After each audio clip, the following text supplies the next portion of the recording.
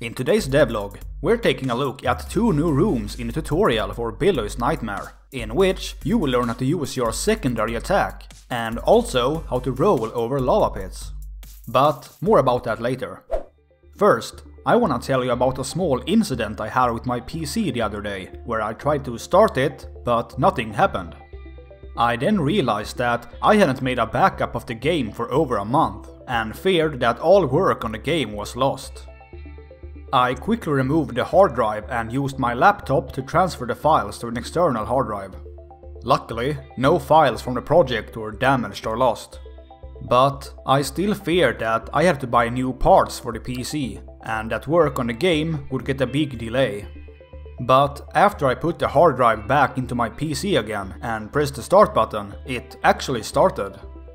I could then continue working on the game's tutorial the place where you will meet Mr. Sandman, who tells you that he needs your help to get rid of an evil nightmare that is currently attacking his temple.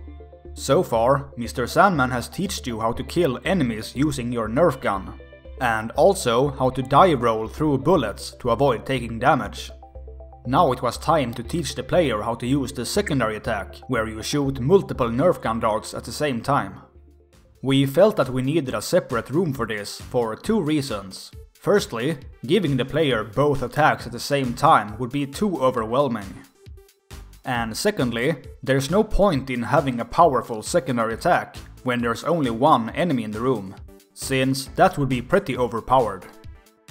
So, we decided to add a room where you face multiple enemies at the same time. That would give you a reason to use your secondary attack. When you enter the fourth room, two portals will appear and spawn a bunch of enemies. The enemies in this room will also shoot back at Billy, something that the enemy in the other room didn't do. At first, the enemies were supposed to balance on one leg, while aiming and shooting with the other. But this looked a bit weird and awkward, so Fabian made a new animation, where they shoot from their mouth instead, which looks a lot better and makes more sense. And since these enemies can shoot at you, we decided to spawn them further back, this is so you won't get hit by bullets immediately when the cutscene is over.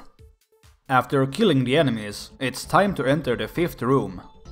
Since the game will have multiple rooms with dangerous lava pits, we needed a room in the tutorial that teaches the player that it's possible to roll over lava. This is so you don't end up running around the lava later in the game, when you could instead just roll over it. When entering the room, Mr. Sandman takes a look at the lava pits and explains that the nightmare is spreading faster than he thought. He then rolls over the lava and turns towards Billy, so the player understands that he's supposed to follow Mr. Sandman. And just like the trap room with all the cannons, this room also has a shortcut for you on the way back, so you don't have to avoid the lava again when backtracking.